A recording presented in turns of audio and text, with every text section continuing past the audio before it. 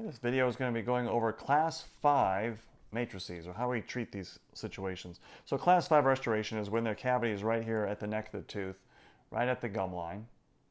And we need to put the material in there, of course, and get it sealed off. What we do at our office is we use two different class 5 matrices. They're both kind of the same design, just one's a little bit different shaped than the other. This one we'd use primarily for a molar. You can just kind of tell the size of it. If we were to put that up against a molar, oriented the right way. Hold up, I'm coming in from the front. It'd be like this.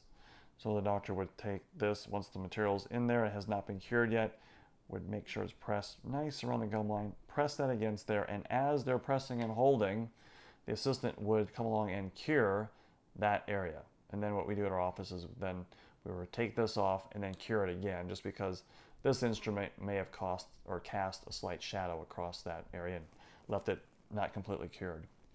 But we're using a, when we're working on an anterior tooth, we're going to use this other one. And you can tell its shape is not as broad, it's more skinny. Looks kind of like that. And so in this case, the doctor would hold it in place, again, place it in like this. The dent, I'm sorry, the assistant would actually, let me back up. The assistant needs to take this and put it on a cotton forceps and hand it to the doctor. And of course, try not to drop it in the transfer.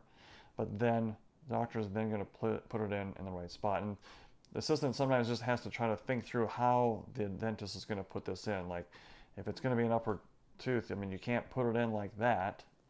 That's not the right way. So it has to be turned like this. It has to just be ergonomic enough for the dentist to just get it right in the right spot, press, and while the pressing and the material kind of fans out across the prep, then the assistant would come along and cure that. Another important point is the assistant can cure a little bit, we call it from a distance. That means maybe an inch or two away.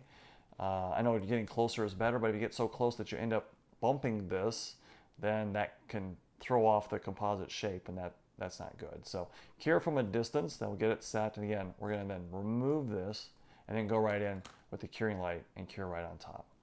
And so that's basically it for class five matrices.